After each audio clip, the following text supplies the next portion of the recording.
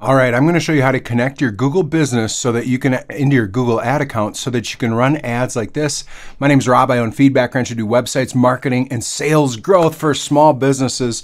Been doing this for over a decade. So what you notice is on a paid search ad, if you connect the local asset into the Google ad account, you're going to be able to run an ad that, that shows like this. And it's pretty powerful, especially if you have a ton of reviews. So I'm going to show you how to do that inside of this Google ad account. So first, what you need to do is make sure that you're logged into your Gmail um, sorry, the Gmail that when you go here and you go to this business profile manager, this thing here, you're actually able to see your Google business. So if you cannot see that, um, or, or if your Google ad account is run by a different account compared to which one has the Google business, I'm going to show you something quick. If that's the case, maybe you have two Gmail accounts, you can come in, you actually go right here and you hit business profile settings and once you get into here, you're able to add people and access and then add the account. So whatever master account is on the Google Ads account, you want them connected to each other. Piece of advice, I would personally make sure you add in maybe you and your spouse and some other Gmail accounts just in case something happens there. It's really hard to get back into your, your Google account. So back to hooking it up so that your Google uh, can show up in Google paid search ads.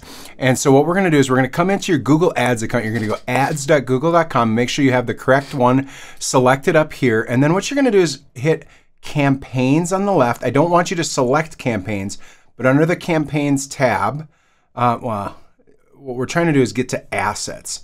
And down here in assets, you're to click assets. When you get to assets, there's all these funny things called assets. You've got images, business name, logo, all this stuff. What we want to do is go to location. Now, it could be that your location is just in here, um, but sometimes it's not. So what we need to do is we need to hit create asset. And inside of that, um, it's to go through. There's a couple different ways to do this. There's location groups. There's one uh, location. You can do it for the campaign. Um, and it kind of depends on how you've got this whole thing set up.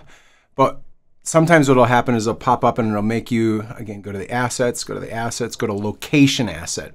When you hit plus there, um, our goal is that the Google business shows up down here. If it's not there, um, you have to play with it a little bit. Now this has changed a lot. You're gonna go create asset.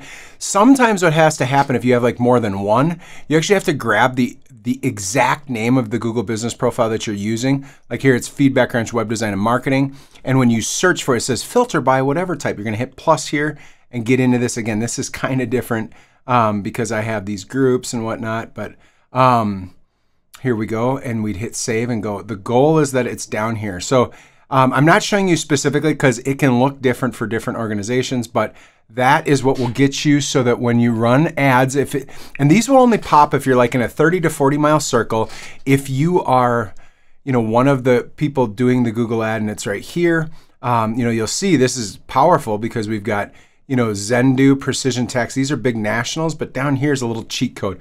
Local businesses are trying to rank in Google Maps. So they're paying attention to Google Maps. So local businesses, especially if you're an accountant or B2B, they're often paying attention there. But if you do that, then you'll be able to run these Google local uh, things.